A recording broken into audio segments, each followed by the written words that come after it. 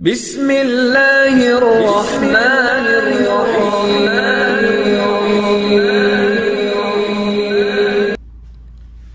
السلام علیکم ویورز، میں ہوں آپ کا عشرت اقبال وارسی اور آپ دیکھ رہے ہیں ہمارا ٹیوب چینل۔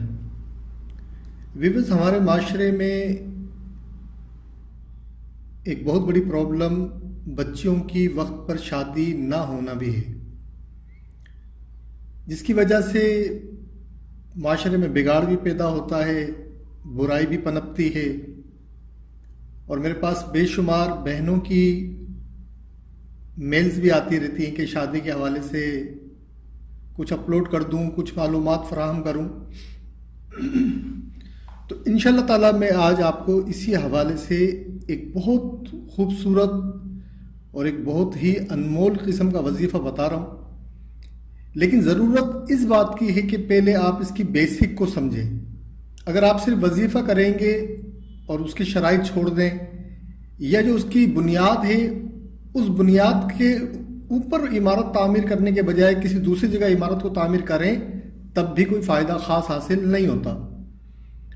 تو اس ویڈیو کو شروع سے لے کر آخر تک غور سے آپ سنیں اور جو تجاویز اور جو ہدایات اور جو نصیحت میری جانب سے ہوں، آپ ان پر عمل کرنے کی کوشش کیجیے۔ انشاءاللہ زوجل اس وظیفے کی برکت سے اللہ کریم فضل فرمائے گا، مہربانی فرمائے گا اور ایک بہترین رشتہ آپ کو مل جائے گا۔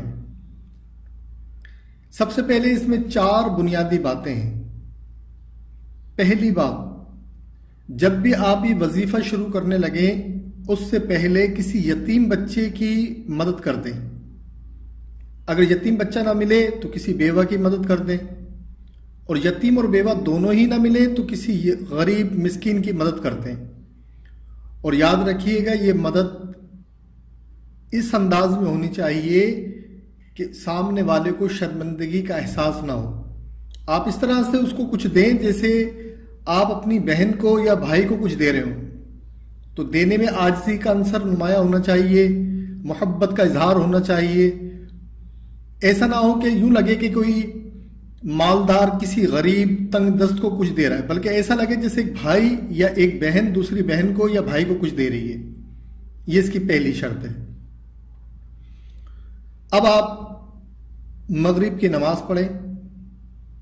مغرب کی نماز کے بعد دو رکعت نفل نماز پڑھیں اور اسے ایسال ثواب کر دیں۔ ایسال ثواب کا طریقہ آپ جانتے ہی ہوں گے۔ میں نے دو رکعت نماز نفل جو پڑھی ہے، اس کا ثواب تمام انبیاء کرام علیہ السلام، ان کے اصحاب، تمام اولیاء کرام، تمام مومنین، مومنات کو پیش کرتا ہوں، کرتی ہوں۔ یہ طریقہ ہوتا ہے ایسال ثواب کرنے کا۔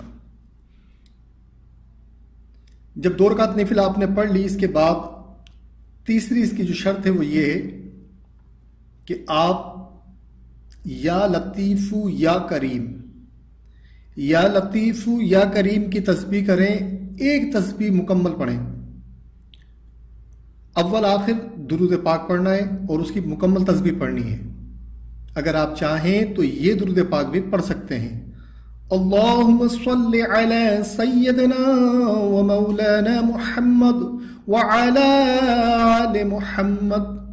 یہ مکمل درود پاک ہے، آپ اس کو بھی پڑھ سکتے ہیں۔ تو اس کو پڑھنے میں زیادہ وقت بھی نہیں لگتا۔ اللہم صلی علی محمد وعلی آل محمد۔ یہ مکمل درود پاک ہو گیا۔ اس کی ایک تصویر پہلے کر لیں، ایک تسبیح اس کی بعد میں کر لیں۔ اور درمیان میں ایک تسبیح، یا لطیفو یا کریم۔ ایک تسبیح آپ کی ہو گئی۔ یہ تین معاملات آپ کے ہو گئے۔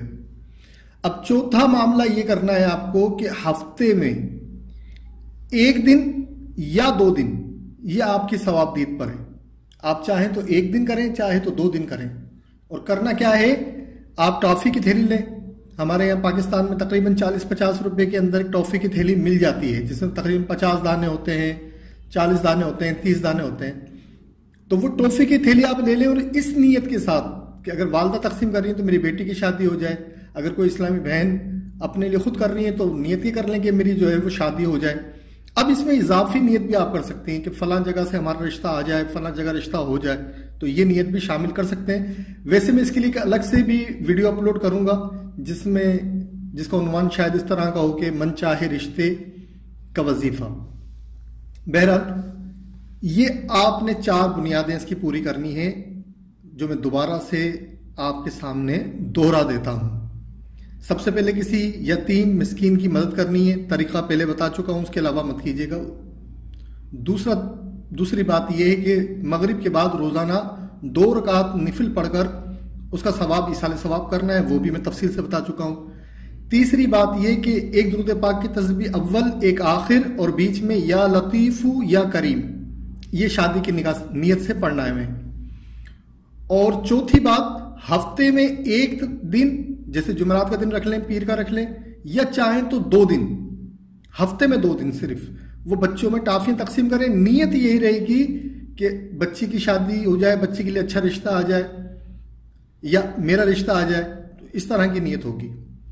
تو یہ چار معاملات آپ کریں اور دن میں جتنا بھی آپ کو وقت ملتا ہے، اب یہ زبان پہ آپ کے یہی تصویر ہے، انشاءاللہ عزوجل اس میں اعظم کا کام کرے گی۔ چلتے پھرتے جو ہے وضو با وضو پڑھ سکتے ہیں، پڑھ سکتی ہیں۔ یا لطیف، یا کریم، یا لطیف، یا کریم، یا لطیف، یا کریم۔ اور جب بھی تصویر پڑھے نیت وہی ہو کہ اللہ تعالیٰ ہمیں بہترین جیون ساتھی عطا فرمائے، جس کے ساتھ بعد میں بھی معاملات خیر کے ہوں۔ مشکلات پیش نہ آئے شادی کے اندر، آسانیاں ہوں۔ اب اس کی شرط اور اجازت۔ اس کی ہر مسلمان بھائی کو، بہن کو اجازت ہے اپنے لیے پڑھ سکتے ہیں، اپنے بچوں کے لیے پڑھ سکتے ہیں، اپنی بہنوں کے لیے پڑھ سکتے ہیں آپ۔ کوشش کریں نمازیں نہ چھوٹیں، نمازوں کی پابندی کریں۔ جھوٹ نہ بولیں، غیبت نہ کریں، ان چیزوں سے اجتناب کریں۔ گناہ کبیراؤں سے بچیں۔ دیکھیں، جب ہم گناہ کبیرہ بھی کرتے ہیں، گناہ صغیرہ بھی کرتے ہیں، لوگوں کے دل بھی دکھاتے ہیں اور پھر ہم کہتے ہیں کہ فلاں صاحب نے، وارسی بھائی نے، کسی اور نے تصویر بتائی اور تصویر کا فائدہ نہیں ہوا۔ دیکھیں، فائدہ ضرور ہوتا ہے، لیکن ہماری غلطیوں کی وجہ سے، ہماری کوتاہیوں کی وجہ سے ہم بالکل معاملے کے قریب پہنچتے پہنچتے ہمارے ہاتھ سے رسی چھوٹ جاتی ہے۔ اور وجہ کیا ہوتی ہے؟ یہی چھوٹی چھوٹی وجہیں ہوتی ہیں۔ ہماری بد اخلاقی، ہمارا جھوٹ بولنا، ہمارا لوگوں کے، لوگوں کی غیبت کرنا ایسے معاملات میں اپنے آپ کو الجھا لیتے ہیں جس کی وجہ سے ہمارے باطن میں روحانیت کی کمی ہو جاتی ہے۔ تو جب ہم تسبیح پڑھتے ہیں، چونکہ اخلاص بھی نہیں ہوتا، باطن میں کمی بھی ہوتی ہے، تو اس لیے ہمیں اس میں خاطر خواہ کامیابی نہیں ہوتی، تو اس میں وظیفے کی کمی نہیں ہوتی۔ بقول علامہ شہیدی رحمت اللہ تعالی علیہ، اس کے تو عام ہیں الطاف شہیدی سب پر۔ ارے، تجھ سے کیا ضد تھی اگر تو کسی قابل ہوتا؟ تو ان شاء اللہ تعالیٰ اگر آپ نے میری تمام ہدایت کو غور سے پڑھ بھی لیا ہے، کیونکہ آپ کو اسکرین پہ یہ ساری ہدایت لکھی ہوئی بھی نظر آ رہی ہوں گی۔ تو اگر آپ پڑھ بھی رہے اور سن بھی رہے تو انشاءاللہ عز و جل بہت جلد بہت جلد، چند ہفتوں میں آپ کے گھر پر ایک مناسب رشتہ آ جائے گا۔ پھر اگر آپ چاہیں کہ اس کے متعلق استخارہ کرائیں تو یہاں ٹیوب یوٹیوب کے اندر نیچے مجھے کمنٹ کر کے یا کوئی ایسے پرسنل معاملہ ہے تو پھر آپ مجھ سے میرا موبائل نمبر لے لیجیے گا تو پرسنل بھی میں بتا دوں گا۔ لیکن کوشش کریں پرسنل کے بجائے جو بھی معاملات ہوں کمنٹ باکس میں حل ہو جائیں۔ تو اگر آپ استخارہ کروانا چاہیں گے، کسی رشتے، کوئی رشتہ آ جائے کہ یہ رشتہ ہمارے لیے ٹھیک ہے یا نہیں ہے، تو اس میں صرف یہ ہوتا ہے کہ لڑکے کا نام، لڑکے کی ماں کا نام، لڑکی کا نام، لڑکی کی ماں کا نام اور شہر کا نام۔ یہ مجھے جو ہے نا آپ کمنٹ باکس میں لکھ دیجیے گا ان شاء اللہ تعالیٰ میں اس کو آپ کو جواب دے دوں گا۔ اور اگر کوئی چاہے کہ نہیں، میں یہاں پر پبلش نہیں کرنا چاہتا اس بات کو پرسنلی چاہیے تو پھر آپ وہاں پر لکھ دیجیے گا فون نمبر وغیرہ دے دیں، تو انشاءاللہ میں خود کانٹیکٹ کر لوں گا۔ اپنا بہت خیال رکھیے گا۔ السلام علیکم ورحمۃ اللہ وبرکاتہ۔ ویوز اگر آپ نے اب تک ہمارا ٹیوب چینل کو سبسکرائب نہیں کیا، تو مہربانی فرما کر اسے سبسکرائب کر لیں۔ اور نیو ویڈیوز کی معلومات کے لیے بیل آئیکن کو بھی کلک کر دیجیے۔ اگر آپ میرے بلاگ پر جاننا چاہتے ہیں، میری تحریریں پڑھنا چاہتے ہیں، تو بلاگ کا لنک ڈسکرپشن میں موجود ہے۔ Ishrat Iqbal Warsi dot blog spot dot com اسے دیکھ کر وہاں سے آپ میری تحریر کو بھی دیکھ سکتے ہیں۔